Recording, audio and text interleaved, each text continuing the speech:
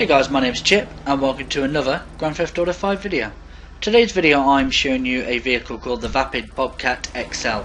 It doesn't look much when you get it, but once you do go and customise it, it looks really good.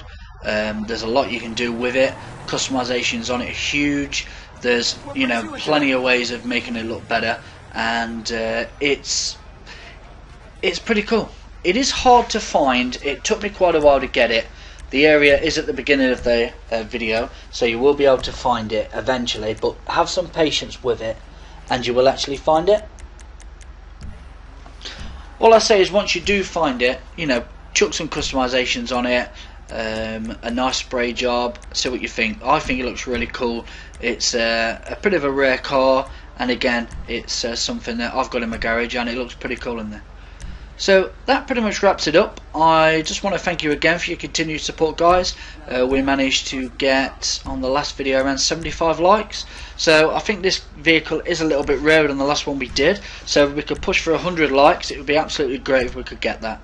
Uh, I do love the support you give me guys, the comments, the feedback. I'm getting plenty of likes on my videos. The views are good.